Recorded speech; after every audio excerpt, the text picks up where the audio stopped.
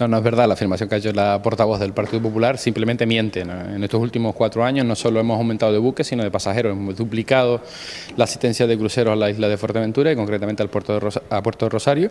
Además, lo hemos dado con, en la respuesta con datos de la página oficial de la Autoridad Portuaria de Las Palmas.